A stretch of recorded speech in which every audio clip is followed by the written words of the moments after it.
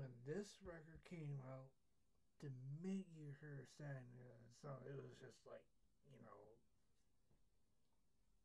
that was just, I was just like, wow. The album came out May 22nd, 2012 at the Verify Recording Studio.